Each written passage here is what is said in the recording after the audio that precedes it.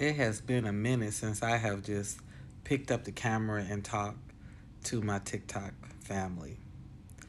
Um, it's a very happy Sunday. I'm having a very nice Sunday. But I wanted to give you all some updates on plans for Ghana, returning to Ghana, managing uh, my life here in the Chicagoland area, specifically Maywood, and what's next in terms of um, the outreach, in terms of all that good grassroots activism and the momentum that I have with um, Benjamin Opare and Benene Foundation back in Ghana. So, you know, my plan was to come. I thought I would be out of here by the end of September. We arrived here September 5th, and it was my plan to come, collect my mother for whatever time it would take to get her passport, and then we would be on our way back to Ghana. You know, I have the um, three bedroom with that space there, and so you know, plans were to set her up there with us, and you know, we would move forward. Well, we make our plan. God sets our steps, and the day before her passport arrived, she went back. She went to the hospital. I actually had her ambushed um, because she did not want to go. Okay, but over that first couple of weeks, she stopped coming out, sitting and talking with us. She wanted to get her hair done in the bed. It was just a lot of digression, and um, I could tell like she wasn't okay. And the main thing was those loose bowels, and so um, she had a severe urinary tract infection, something I've now learned functions like sepsis in elders. It is it completely makes them sick, uh, where they lose their appetite. You know, they become delusional. They um, can't hold their bowels, and so the medication that she was given, the antibiotics, antibiotics that she was given, also loosened her bowels. And so, you know, my mother is um, with the trach and the G tube. So she feeds herself the liquid diet through the G tube, and she wasn't holding any of it. So I know what dehydration looks like. I know what it looks like when you not when you diarrhea. You can basically diarrhea can kill you.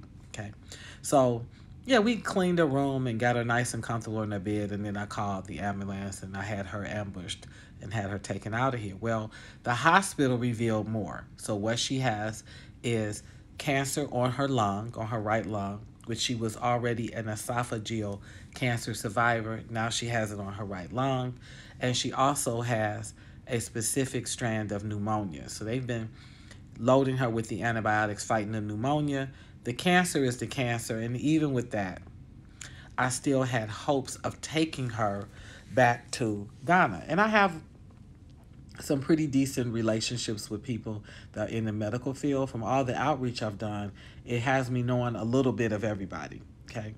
And a little bit of everybody knows even more of everybody. So I had a good medical arrangement potentially in place for her.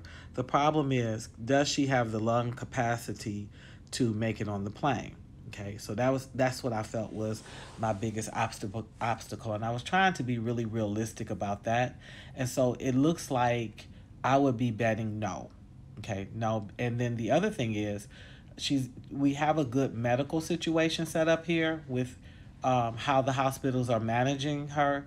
I actually don't want to transition her someplace else where she would not get as great care and, and, and I'm not even talking about God. I'm talking about um, just systems not being uh, to being able to get to her as rapidly as one would wish. So I don't plan on moving her, um, and she and I have talked about that. But I also am not planning on leaving her. So I don't believe when a friend is in a fire. I don't believe you leave them. I don't believe when when uh, uh, there's a, a fight breaks out, you're the first one to run. So it is my intention and to put in as best support as possible before I return to Ghana. Now, here's the reality. My assignment in Africa is not over. I still feel great, um, a great drive and a connection to go back and and finish what I started. One, I have a business there. Ghana gave me a business.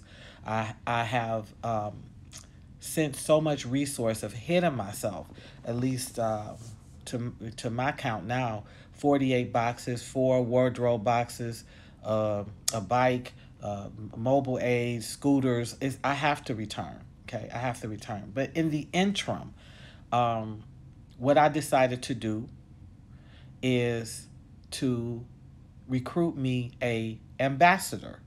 So there's a woman. Her name is Myra Foster. She is a heavy hitter, an amazing American black. Comes from the Chicagoland area, living in the South.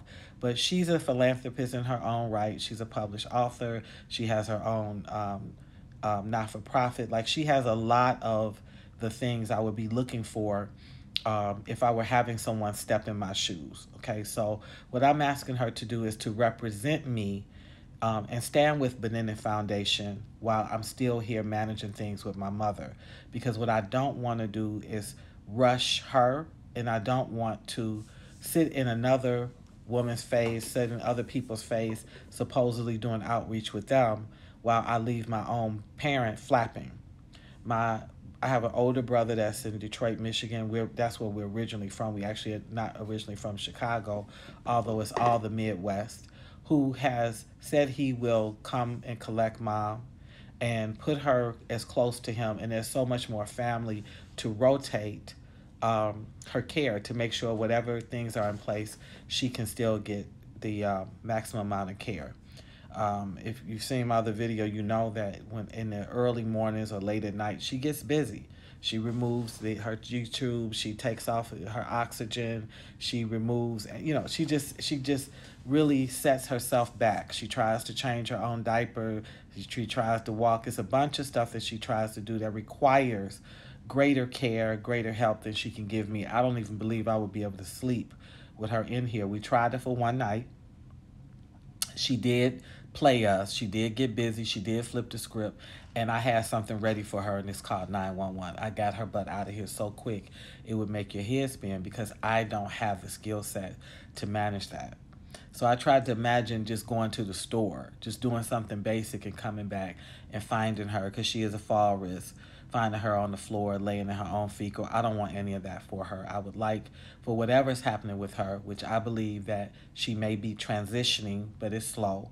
I would like for her to have as great quality of life as possible. Now, uh, her favorite people are myself and Gia. Um, but the truth is, my brother Michael is also her son. That is her child. It's not for me to hoard her. My mother has been with me since 08, and I have respected her wishes from the time that she came to me. Okay. So she wanted to stay in the house. Okay. I wanted her to travel with me to Ghana. She did not want to go. She was very adamant.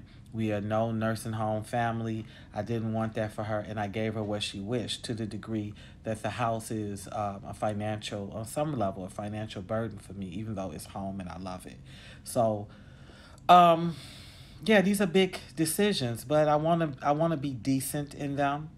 I want to remember that uh, my turn is coming, so I need to be careful with uh, what I put out into the universe as it applies to the um, loved ones that matter to me.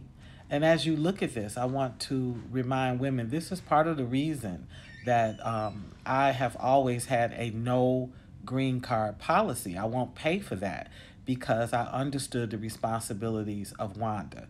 Wanda is smashed between an elder and a baby, okay? Between and that these are two complete dependents. I don't have the money to um, five, ten, six thousand dollars to help any adult come to this country. They can raise their own money and I can help them with processes and things like that. But everything else, it's a no go. Even now, all my resources being used to stay here to see about my parent. And guess what? You want to hear the amazing thing? You only get one. So it's my intention to do this right. I'm excited about my ambassador. Um, I'm going to release it. I'm have a I have a, a flyer being made for her. I want to you know give her the utmost respect. I'm excited. She's traveling out December 15th, and she will um, do all things represent me in all things.